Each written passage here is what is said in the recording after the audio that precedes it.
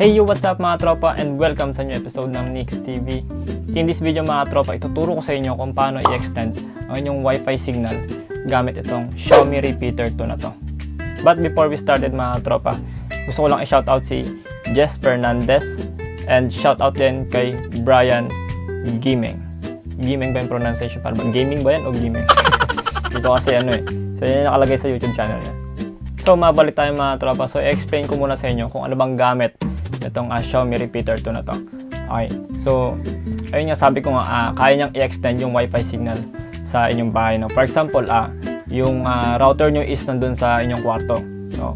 And then pagdating dun sa may uh, kusina nyo is uh, one bar signal na lang. No? So ito yung gagamitin mo para maging full strength ulit yung wifi signal nyo.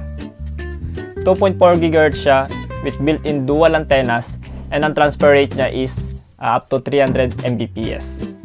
At kung tatanungin mo naman yung range niya, is alam ko maabot siya ng up to 50 meters away dun sa uh, mismong extender. So, USB powered siya mga tropa kung makapansin nyo yan. So, meron siyang male USB sa dulo. And ang kagandahan dito mga tropa is pwede mo siyang gamitin sa power bank. Okay, so ako ginagamitan ko siya ng uh, charger adapter no which is yung minimum requirement naman niya naman is uh, 5 volts and 1 ampere. Okay, so pwede niyo gamitin sa mga charger niyo na ginagamit sa cellphone niyo. And yun nga sabi ko nga pwede rin siya sa mga power bank. Kung tinatanong mo naman mga tropa kung saan ko nabili tong uh, repeater to or Xiaomi repeater to na to is na-order ko lang siya sa Shopee. And ito yung malupit mga tropa. Na-order ko lang siya worth 375 pesos only. Wow. Ito na sa tingin ko yung alam kong uh, pinakamurang uh, Wi-Fi extender. No, kasi uh, maraming Wi-Fi extender, no? Uh, for example, yung sa TP-Link, no? Meron silang worth uh, 1,600 or 1,800 and sa mga iba pang brand ng uh, Wi-Fi extenders. At ito naman mga tropa na nabili ko lang siya sa Japan Home Center ng uh, worth 88 pesos lang. So pag in-order mo kasi siya sa Shopee mga tropa, uh, ito lang yun mismo as is lang. So ito lang yung nasa loob ng packaging niya. So wala, nawala na kasi yung uh, packaging nito eh.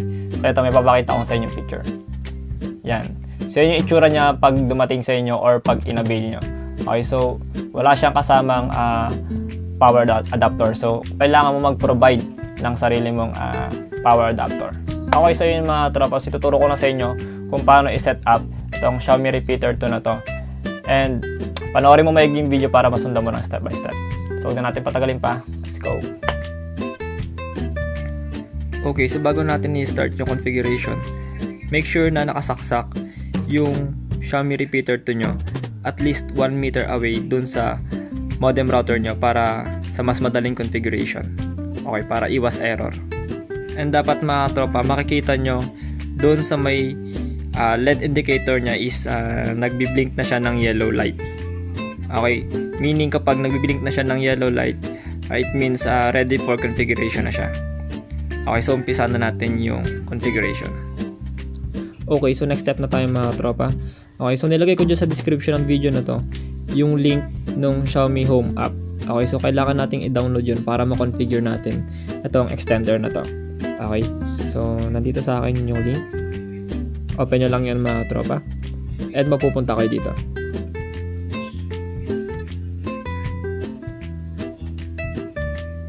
Okay, so download nyo lang yan mga tropa.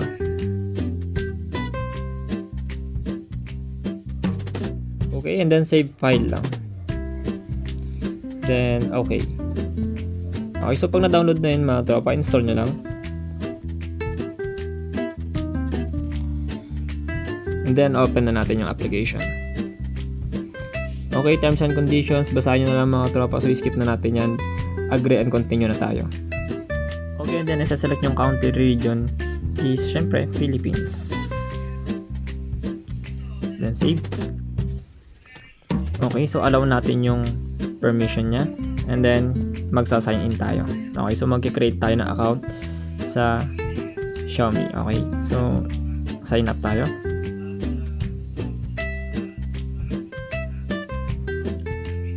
Okay, country region, syempre Philippines and then enter your email address. Okay kung may existing ka ng email address so ilagay mo lang dyan. And then create me account.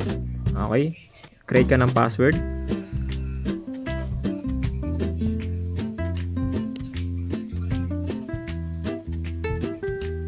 And then enter mo yung binigay nilang code.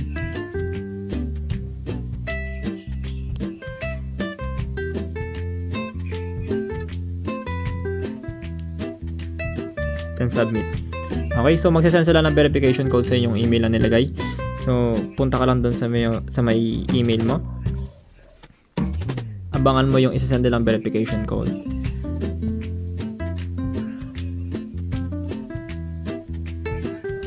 Okay, so ito na mga tropa. Okay, activate account. Just once. Okay, so me account setup complete. Okay, so sign in na tayo. Balik na tayo dun sa may mismong application ng Xiaomi Home. Okay, so sign in na tayo. And then, input nyo dyan yung email and password nyo. Okay?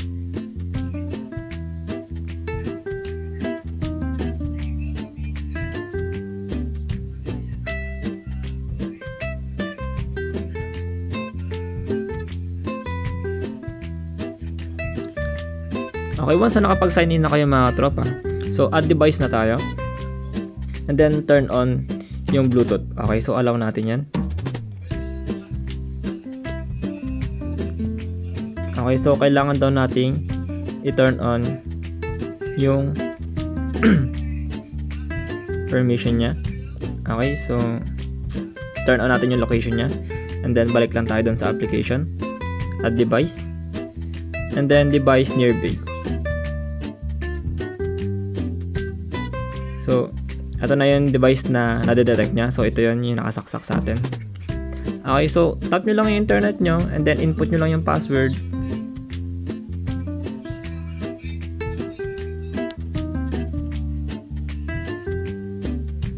Okay, so hintayin nyo lang mag-loading yan mga tropa.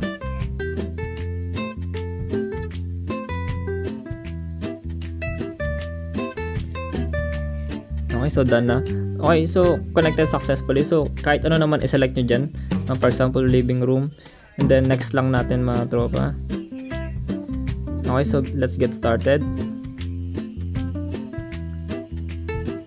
Okay, so getting information na.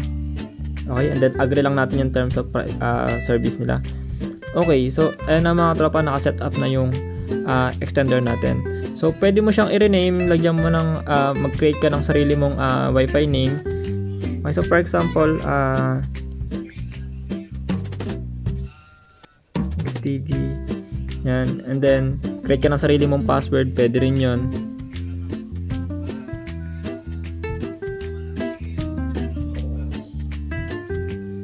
And then, okay lang. Okay, so that's it mga tropa. Okay, so, ginawa mo lang sariling password, so, madi-disconnect ka dun. Okay, so, ayun na siya, makapansin nyo mga tropa sa may wifi settings nyo.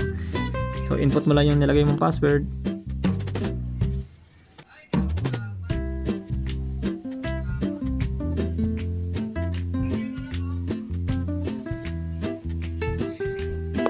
And there you go mga tropa. So, meron ka ng uh, or na-extend na yung wifi signal mo. So, ganun na ka-basic mga tropa.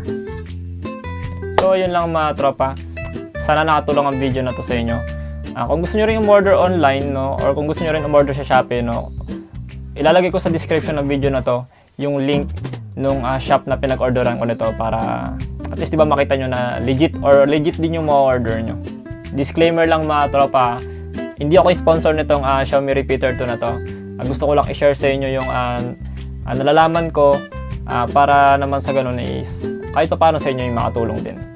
At kung kararating mo lang sa akin channel ay subscribe mo na yan mga tropa at i-hit mo na yung notification bell para lagi kang updated sa mga next videos and tutorials na i-upload natin. Sa mga gusto magpa-shoutout mga tropa, comment below lang at sisikapin natin yung i-shoutout sa next video na i-upload natin. So hanggang dito muna lang muna guys. Abangan nyo pa yung mga susunod na tutorials natin mga tropa. Oh, is yo!